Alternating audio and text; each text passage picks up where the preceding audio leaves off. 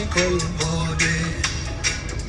I belong to the one musical body.